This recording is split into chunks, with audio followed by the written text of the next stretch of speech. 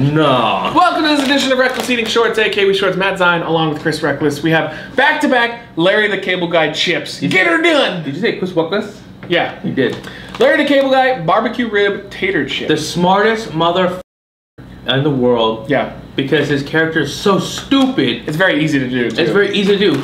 I remember watching him doing stand-up, and he wasn't Larry the Cable Guy yet. Yeah, just some guy. He was he was wearing um, khakis and a pink shirt, and he started do, started doing these like you know Southern jokes, you know. And now he's into this whole character, and people are buying it.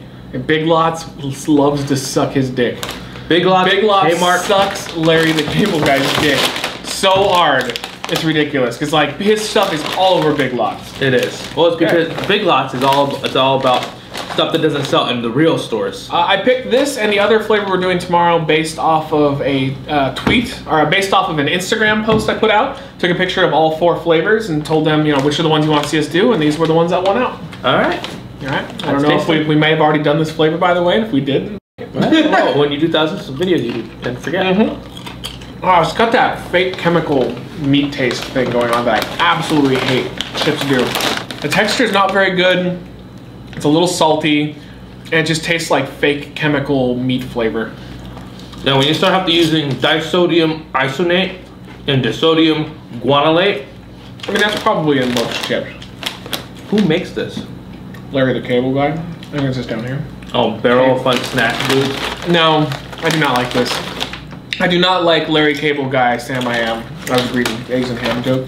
I knew it tastes like a AM PM rib sandwich. what what if, like, I remember I was watching a video we were editing, we were talking about Larry the Cable Guy being Chuck, and I said something was Larry the Cable Guy flavored.